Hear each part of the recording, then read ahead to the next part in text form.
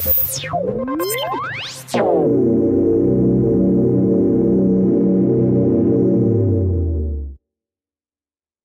I were to run a command like get service pipe to stop service, well, first of all, that'd be crazy.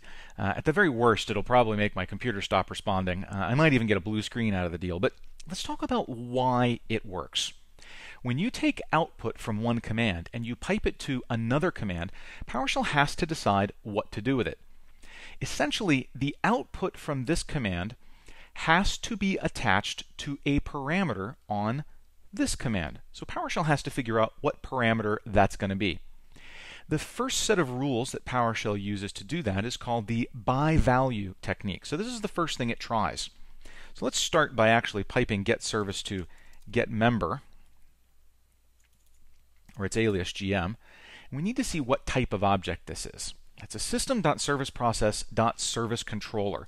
And as I've said before, we pretty much just take the last bit of that as its, its easy to remember name, service controller.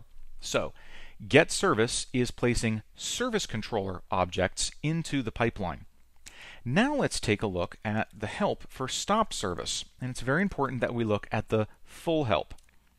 What we're looking for are some parameters that accept a service controller object and can accept pipeline input using the by value rule set. Now you can see that stop service has got three different parameter sets. Each of these provides a different way of specifying which service or services we want to stop.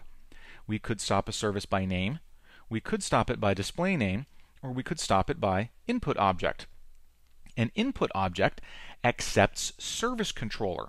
So it looks like we're going to be playing with this one. Let's go read a little bit more about the input object parameter. There it is right there.